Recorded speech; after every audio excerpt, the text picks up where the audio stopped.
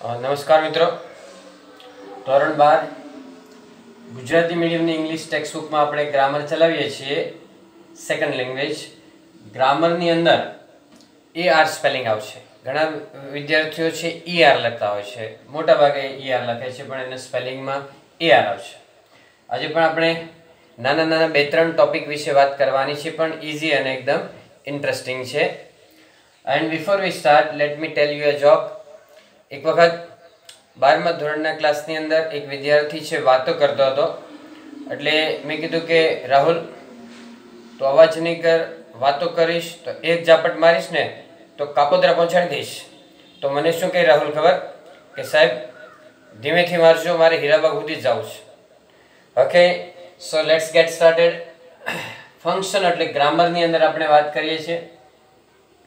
કે ચોઇસ અથવા તો ઓલ્ટરનેટિવ ચોઇસ આવે છે. બેમાંથી એકની પસંદગી અથવા ડાયરેક્ટ પસંદગી હોય, તો પણ ચોઇસ કહેવાય. તમે બંને યાદ રાખો ચોઇસ અથવા ઓલ્ટરનેટિવ ચોઇસ અથવા એને પ્રેફરન્સ પ્રેફરન્સ એટલે પસંદગી કરવાની હોય, ત્યારે કઈ બાબતનો ઉપયોગ થાય છે? તો એના માટે તમારે અહીંયા આઈધર નાઈધર અથવા વુડ રાધરનો ઉપયોગ કરવાનો. આઈધર ઓર આવે નાઈધર નોર આવે અથવા વુડ રાધર આવે. એકલું આઈધર કે નાઈધર પણ આવી શકે. અમેરિકામાં એના ઉચ્ચાર ઈધર અને નીધર કરે છે. આપણે જે ઉચ્ચાર કરીએ છીએ મોટાભાગે બ્રિટિશ ઇંગ્લિશ હશે. બરાબર? તો બંને ઉચ્ચાર ચાલશે એ સાંભળો તો એ રીતે સમજવાનું. હવે આઈધર એટલે એક થાય, બેમાંથી એક. નાઈધર એટલે બેમાંથી એક પણ નહીં. અને વુડ રાધર એટલે ના કરતાં વધારે. બરાબર?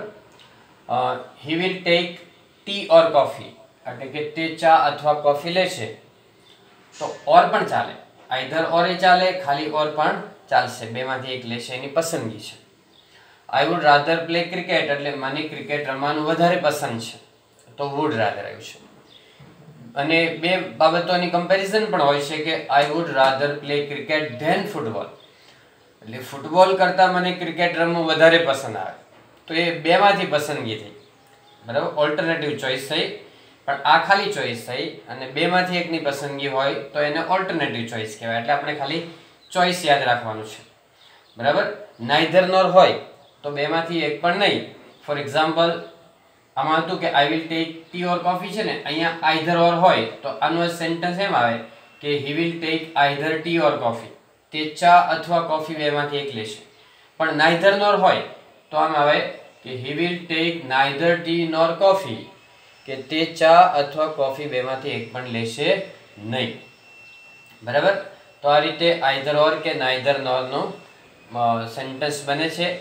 ખાસ કરીને ઓર પછી છે ને ઓપ્શન અને આઈધર પછીનો ઓપ્શન એ સરખા હોય. કરતા હોય, ક્રિયાપદ હોય, કર્મ હોય, ગમે તે હોય. તો either or either tea or coffee હોય, તો જેવો આઈધર પછી ઓપ્શન આવે એવો જ ઓર પછી. અને નાઈધર જો હોય તો નાઈધર નોર આવશે. આઈધર સાથે ઓર આવે, નાઈધર સાથે નોર આવે. એન હોય ને, તો બંનેમાં એક સરખો આવે. સ્પેલિંગ તમારે નાઈધર, નોરનો ન યાદ રાખવો હોય, તો આઈધર, ઓરનો જે સ્પેલિંગ છે, એમાં બંને આગળ એન મૂકી દો, તો નાઈધર, નોરનો સ્પેલિંગ થઈ જાય. એટલે તમારે સસ્તું પડી જાય. ઓકે?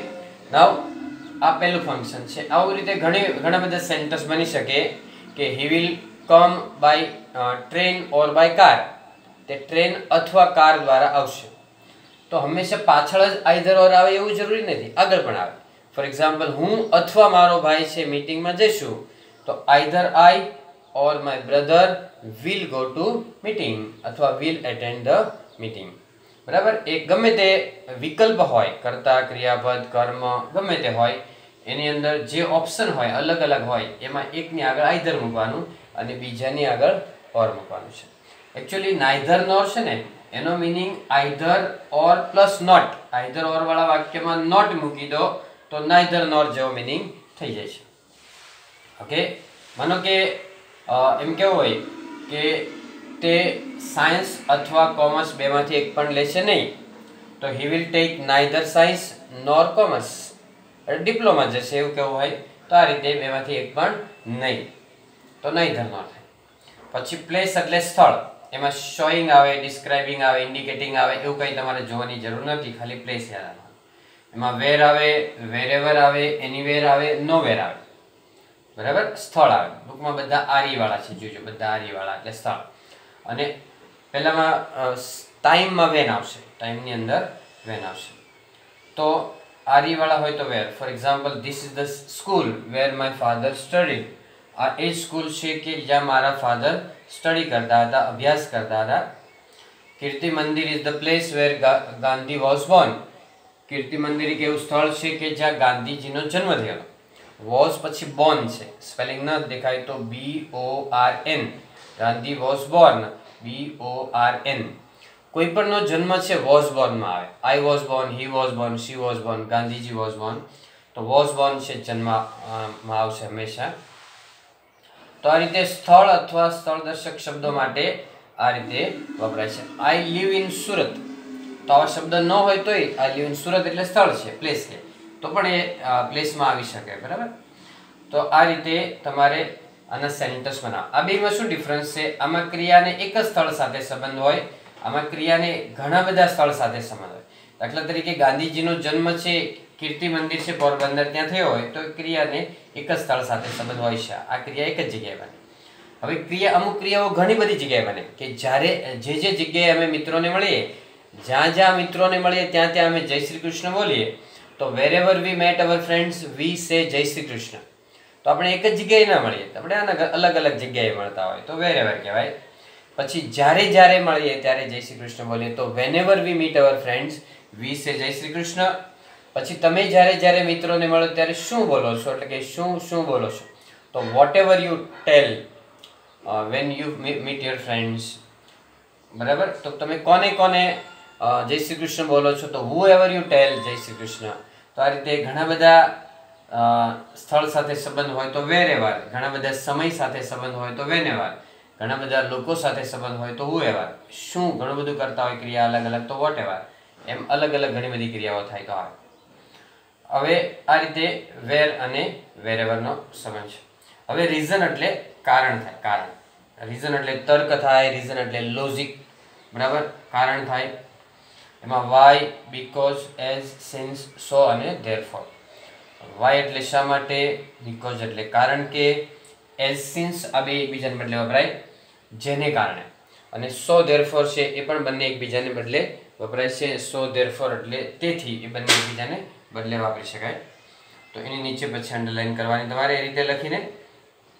હવે do you know the reason why he committed suicide તમને કારણ ખબર છે કે તેણે શા માટે આત્મહત્યા કરી? કમિટ સુસાઇડ એટલે આત્મહત્યા કરી. એ સુસાઇડ પણ બોલાય અને સુસાઇડ પણ બોલાય. બરાબર? તો વાય અને રીઝન બંને આવેલું છે. રીઝન શબ્દ આવે ને, તો પણ આ રીઝન કદાચ બેઠે બેઠું પણ ઘણી વાર આપી દે છે.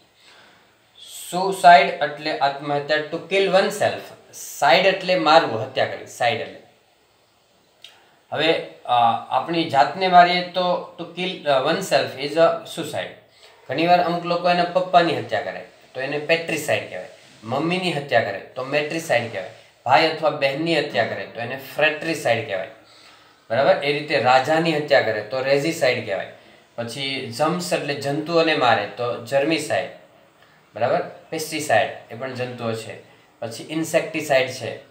ત્યાર પછી જેનોસાઇડ છે. ઘણા બધા લોકોની હત્યા કરી નાખે. જનરલ ડાયરે જલિયાવાલા બાગમાં કરી દી. તો એને જેનોસાઇડ કહેવાય. બરાબર? તો આ રીતે સાઇડ એટલે હત્યા કરવી તે કોઈ પણને મારવું. એના ઉપરથી અલગ અલગ સાઇડ છે એ શબ્દ. આવી અનેક ટીક ટ્રિક છે સ્પેલિંગ યાદ રાખવા માટેની. અને એને હું ખાસ કરીને સ્પોકન ઇંગ્લિશની અંદર વાત કરતો હોય છે. અમારા સ્પોકન ઇંગ્લિશ ક્લાસની અંદર એ બધી વસ્તુ આવે છે. અહીંયા તમને કદાચ કોઈને અભ્યાસ સિવાયનું ગમે કે નહીં ગમે, પણ આપણે જરૂર પૂરતું થોડીક હિન્ટ આપી દઉં છું કે આ રીતે સ્પેલિંગ યાદ રાખવા માટે ઘણી બધી ટેકનિક હોય છે. There are hundreds of technique like this પછી, એ બીજું એક સેન્ટેન્સ જો કે એઝ એટલે જેને કારણે as he was late he was not allowed તે લેટ હતો, જેને કારણે તેને પ્રવેશવા દેવામાં આવ્યો નહીં હતો.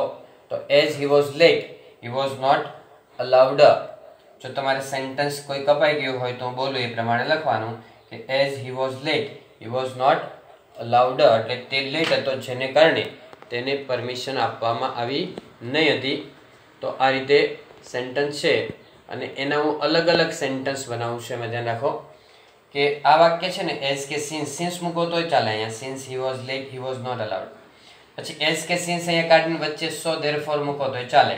કે he was late so he was not allowed ત્યાર પછી બીકોઝમાં કરવું હોય, તો બીકોઝમાં આ સેન્ટેન્સ આગળ લઈ લેવાનું કે he was not allowed because he was late બરાબર? પછી બીકોઝ ઓફમાં પણ ચાલે કે because of his being late he was not allowed because of his being late he was not allowed okay તો આ રીતે આ બધા સેન્ટન્સ છે. એની અંદર, આ બધા સંયોજકો છે, એની અંદર આ સેન્ટન્સ બની શકે. Okay so that's all today and happy learning happy sharing તમારા મિત્રોને આ વસ્તુ તમે શેર કરજો અને સબસ્ક્રાઈબ કરજો ચેનલ